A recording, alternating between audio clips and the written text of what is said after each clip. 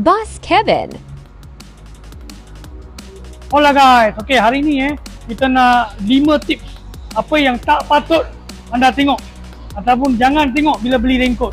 Number one, jangan hari ni hujan, baru hari ni nak cari raincoat. Okay, jangan macam tu. Sediakan payung kan macam tu, sediakan raincoat sebelum hujan. Selalunya saiz kecil dengan saiz besar. Macam kita ada yang XS dengan 8XL. Susah sangat nak dapat. So, Ingat tu. Jom ke tips nombor dua. Okey. Tip nombor dua. Alright. Jangan beli raincoat yang besar sangat ataupun yang terlalu ketat. Okey, raincoat ni kena just nice. Uh, satu saiz besar sikit boleh. Tapi jangan macam ini 6 XL. Okey, jangan besar sangat. Nanti eh, air masuk sini, air masuk sini. Pasal dia punya lubang semua besar. Dan angin, dia akan tolak. Alright. So, inilah tip nombor 2. Let's go for tip nombor 3.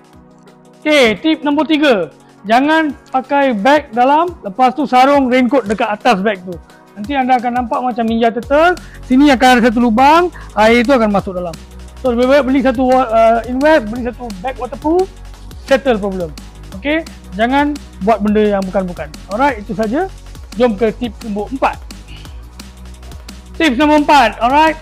Jangan nak cerewet pilih color. Okey, sekarang anda bukan nak pergi racing, kalau jaket ke apa tak apa. Ini dalam hujan lebat, anda pakai seluar ke tak pun orang tak perasan.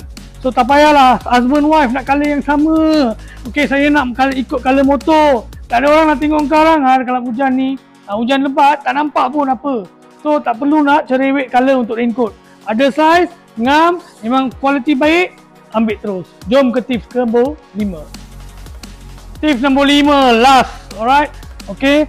Kalau raincoat tu murah sikit, tak bermaksud uh, dia tu tak berkualiti. Alright, so datang kedai tengok dulu.